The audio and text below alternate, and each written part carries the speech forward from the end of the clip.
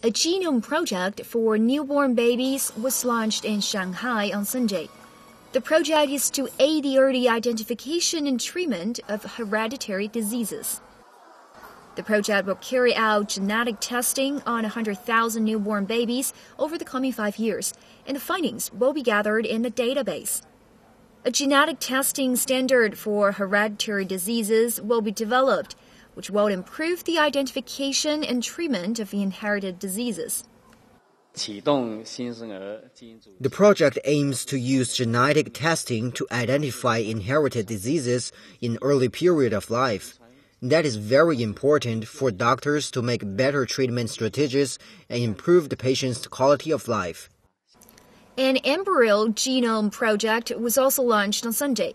An embryo genome database will improve research and understanding of the development of embryos and improve diagnostic rates.